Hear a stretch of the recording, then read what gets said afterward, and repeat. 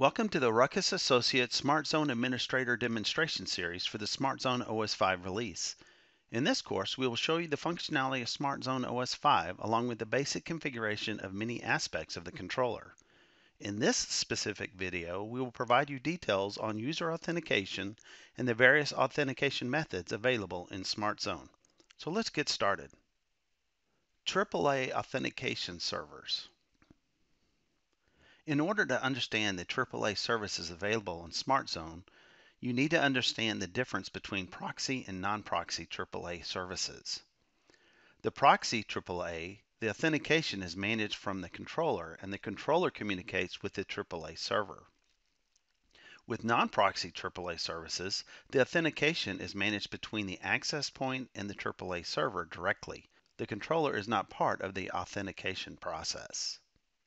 The proxy and non-proxy servers are configured underneath the services and profiles and authentication. As you can see, there's two different tabs of non-proxy and proxy that can be configured. Non-proxy service is configured underneath the specific zones underneath a domain. Whereas a proxy service is configured for the domain itself. Also, both can be configured to allow for Radius connections, Active Directory connections, and LDAP services as well. Let's start with the non-proxy servers first. Now do know the configurations that I'm going to show you are being configured on a virtual high-scale controller, though you should have no problem relating these settings to what you see on a Virtual Essentials controller, a SmartZone 100, or a Smart Zone 300 as well. Now you first have to ensure that you have selected the non-proxy authenticator. Then you'll go down to the zone that you want it configured on.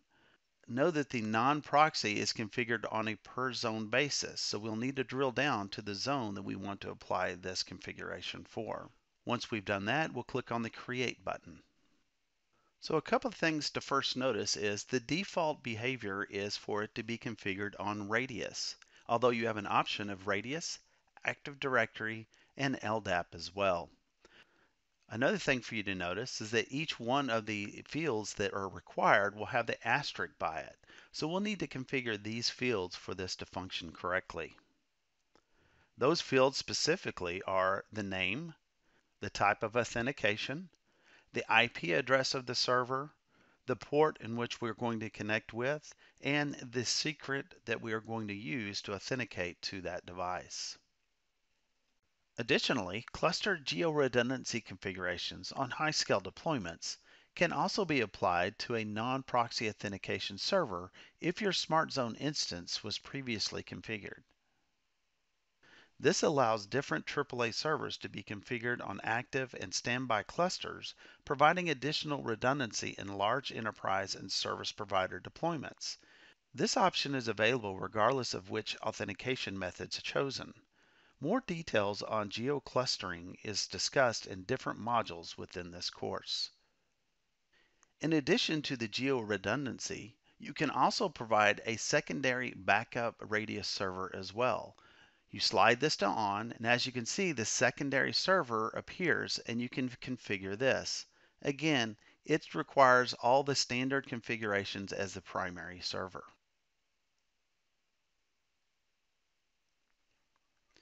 To create an Active Directory server, provide the reference name for the server, select the Active Directory button, and configure the IP address and port. The global catalog of the AD server can be provided if enabled. Additional fields in this form will appear requiring admin authentication credentials for the AD server if this option is used. For an LDAP server, provide the name like the other authentication methods, and underneath the LDAP button, you will provide the necessary configuration for the primary server. Note that name, type, IP address, port, domain names, password, key attribute, and search filter are required for an LDAP configuration. Now let's talk about the proxy AAA servers. Notice under the proxy configuration, there's already populated options underneath that tab. One is local database and the other is always accept or guest access. The local database, if used, can be populated by navigating to the clients, users and roles, and then local users. The controller's local user database can include 802.1x and WISPr users underneath the system or partner domains. Creating a proxy AAA server is very easy. Select the Proxy tab and notice that proxies are configured from a domain perspective as well. Once we select on the domain, we can go in and select Create. Notice the service protocol options that you have when it comes to a proxy server are similar to the non-proxy as well. The initial configuration of a proxy radius server is similar to the non-proxy server. Enter the required settings, and a standby cluster primary and secondary server can be configured if required. Additionally, though, there is support for the RFC 5580 location delivery on the wireless LAN, and it carries location information to the radius exchanges. Additionally, when using proxy as your authentication method, whenever the SSH tunnel between the AP and the controller is down, you can enable a backup authentication service. This provides an alternative to the AP's authentication services to a secondary device. When configuring the backup authentication service, there are additional options such as automatic fallback disable and other configurable health check policies that you can configure when applying a secondary server. Other Radius settings can include the configuration of a health check policy and enabling rate limiting. The response window sets the AAA server response time it has to respond to the request. If no response is received, the controller will initiate the zombie period. Additionally, at this time, the controller will forward the retransmitted radius messages to the secondary AAA server. The zombie period value waits to hear back from the primary server. However, if no response is received during that period, the controller is considered inactive or unreachable.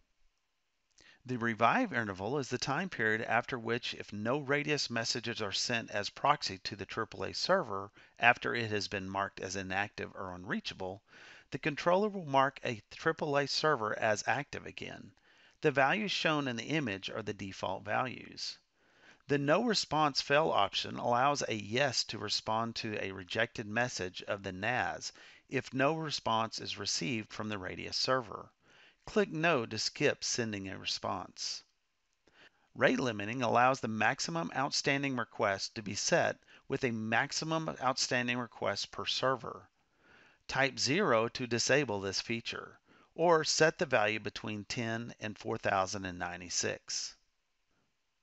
For an Active Directory server, select the Active Directory button and add the primary server details. As with the other services, a primary standby cluster configuration can be applied when using AD for authentication. When using LDAP, it allows authentication against any LDAP compliant database.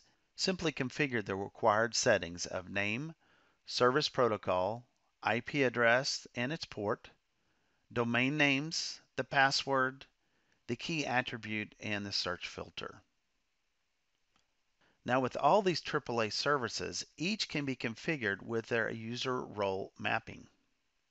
When a user is successfully authenticated against a AAA server, the AAA server can respond with information about that user in a form of a group attribute.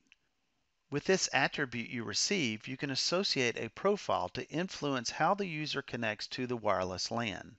This process is called user traffic profile mapping. User traffic profile mapping is available as an option for all AAA authentication types. Under the user profile mapping, the group attribute value received from the AAA server is mapped to a configurable user role. If one doesn't exist, you can create one here. Further, the user role can be associated with a user traffic profile, applying certain access parameters to that user.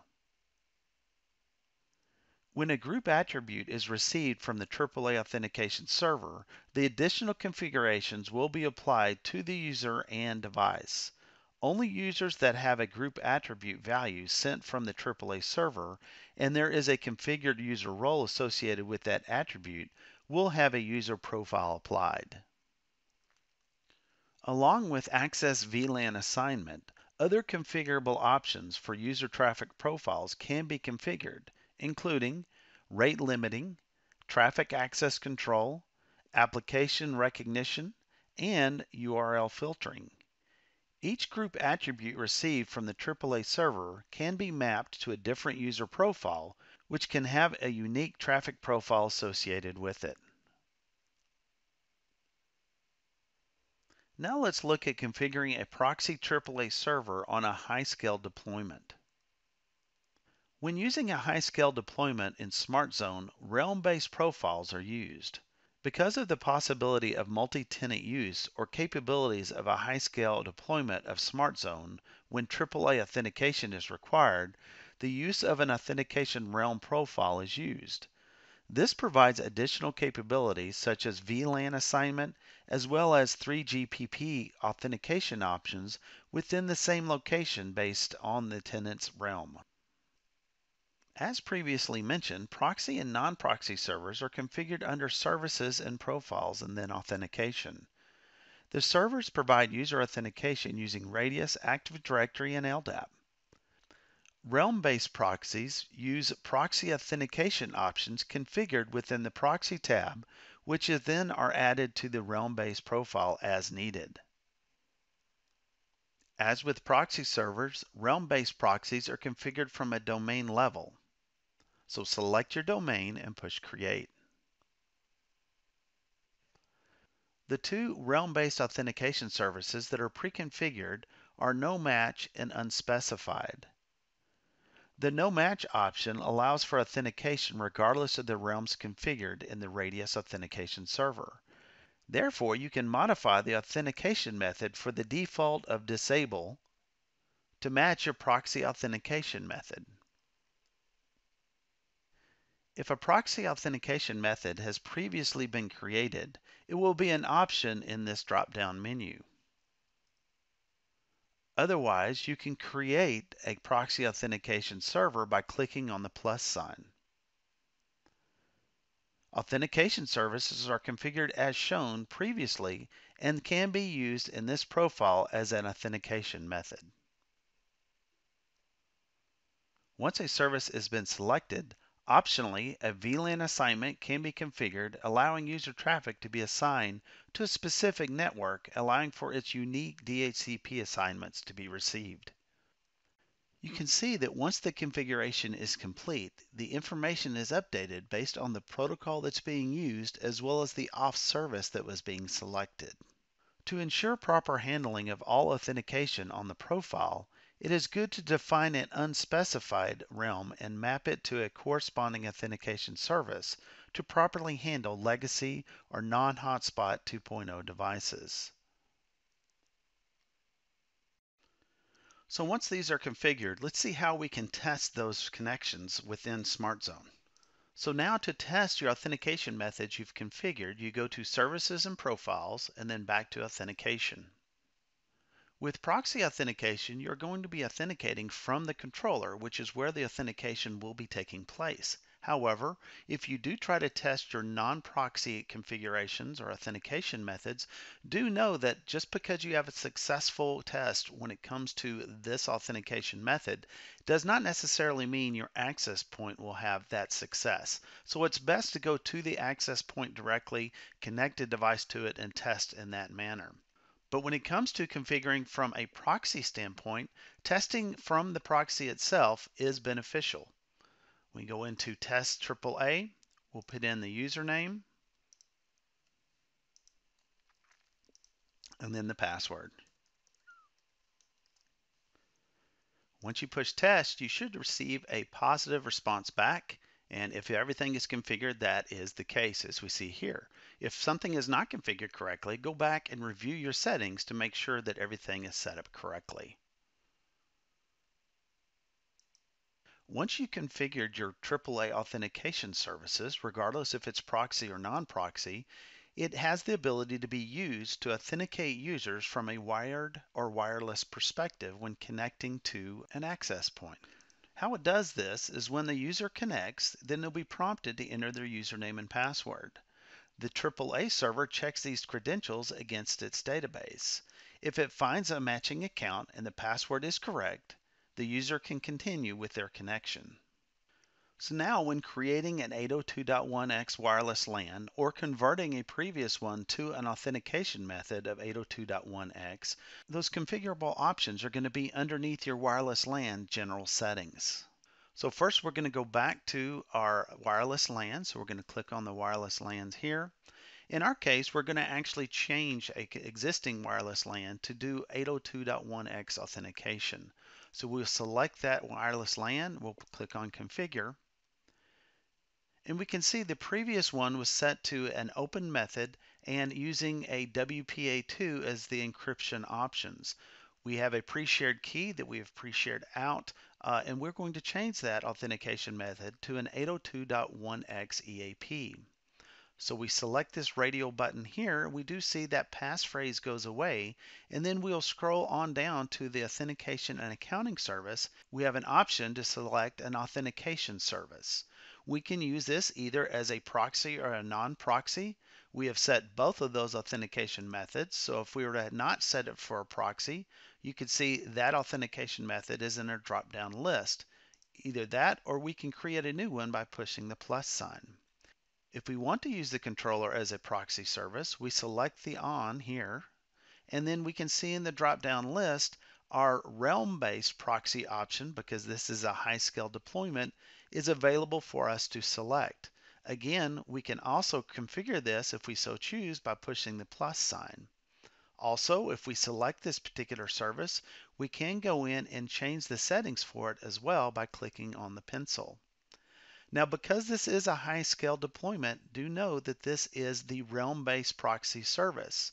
That foundation of the authentication is that serve that proxy service of PartnerX authentication that we configured earlier.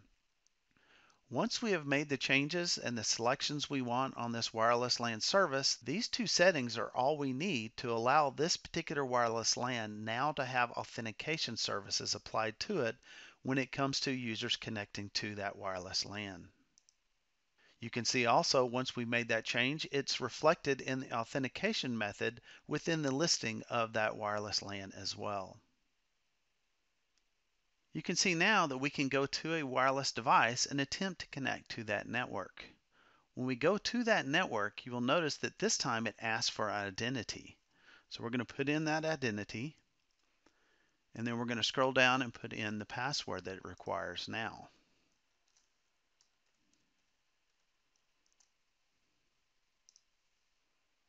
And then push connect. Authentication goes out to the AAA authentication service that we have set up. And as a result, you can see we have successful connection based on the 802.1x standard. Thank you for taking the time of watching this video of user authentication when using SmartZone. There's other videos in this series that teach you other features and other things that can be configured within SmartZone OS 5. I encourage you to go out and look at the other videos within this series that provide you other features that can be configured within SmartZone OS 5. Thanks for watching.